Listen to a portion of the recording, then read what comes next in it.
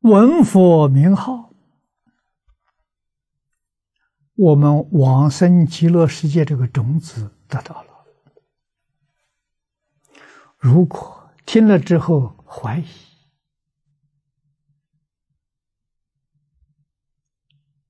不想到极乐世界，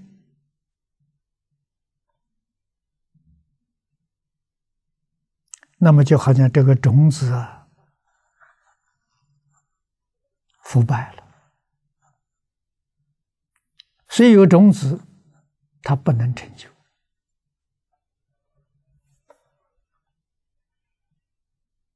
如果你有缘接触到这个经典、这个法门，啊，听闻名号，有善友给你介绍、给你解释、给你说明，啊，帮助你断疑生信。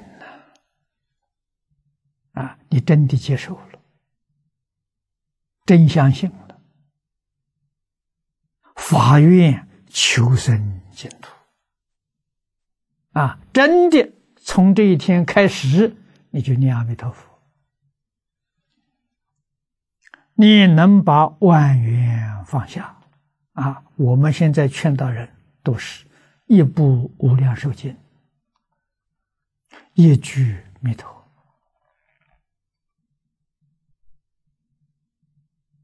你这一生决定能成就啊！啊，一生永远不改变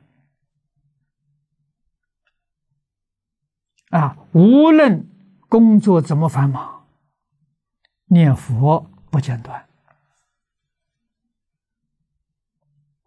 需要用思考的把念佛放下。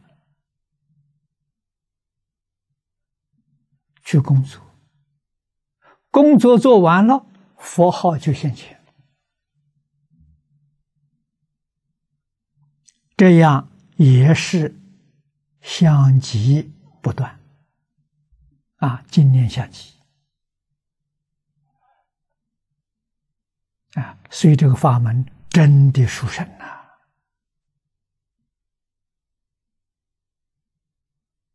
啊，无论从事哪一种工作都没有妨碍，都能帮助你成就。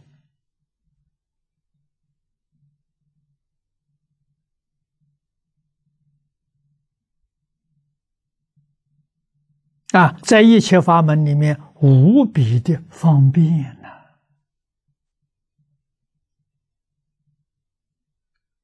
啊，这个就是具足因缘。好像你这个种子，啊，得到了土壤，啊，肥料、水分、阳光，啊，还得到有人好好照顾它，它一定会长得非常好。